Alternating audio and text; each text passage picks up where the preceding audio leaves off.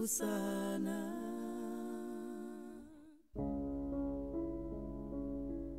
Sasa hii hii msichana anaitwa Rebeka ni katoto mzuri sana, iko heshima sana, lakini ni hapana kujua mtu kunewa msa yake akunewe, ni hapana jua, lakini hii sasa anakosa shule, lazima baba yake amtafutie mtu wa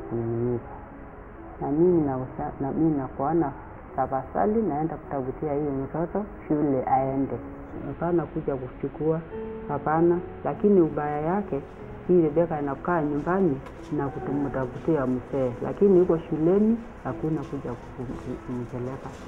Mimi nakusema kabisa, na, na, na hakuna mtu wa nini mimi. Nakusema Rebeka aimike mzee hii iko ni nguvu sana. Mimi asiende shule, lakini mimi napenda sana shule. Shule ni kitu mzuri sana.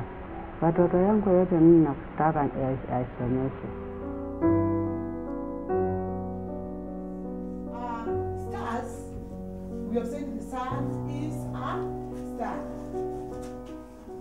Pia kuna shule hapa akanileta nitafutia pale hapa kuniweka.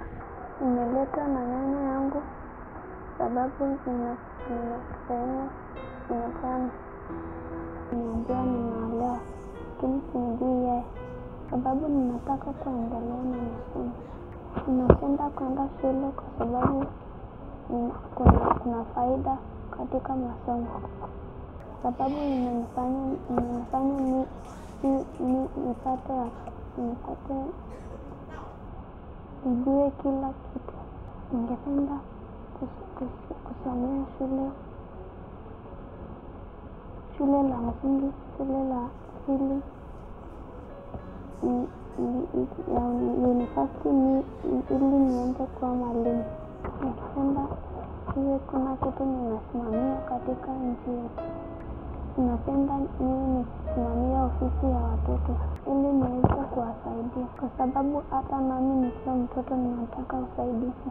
Pia ninapenda niwe hapa kwa sababu nina imani nitakuwa mtu wa, wa, wa ajabu kwa kwa hapa. Vile ninaona vitu tatu za maana kwa watoto ni heshima, kuwa na elimu na kumpenda Yesu. Mimi nilifurahisha nikimaliza elimu yangu.